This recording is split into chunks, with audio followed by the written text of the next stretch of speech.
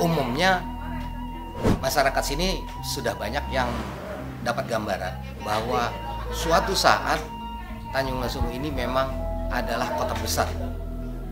Dan itu terjadi. Awalnya dari hutan tiba-tiba uh, jadi sesuatu.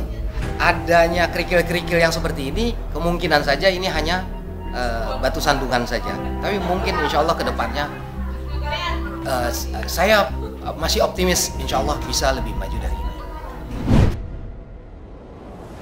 Saya sampai sempat ke gulung. Pada posisi itu saya sampai ke bawah ke pembuangan sampah. Setelah itu lima menit kemudian udah. So I think people just, it's just, it's very small risk those things can happen, but there's many other things that are a lot more dangerous in life. So for me, I like this place because it's not bad. Yeah, because for me, Bali is already too crowded. It's too, it's so, so modern. I don't know. I, I don't really like those overcrowded uh, tourist places.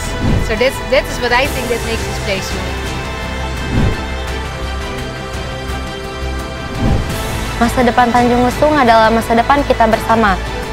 Masa depan saya, dan teman-teman penari Tanjung Lesung lainnya.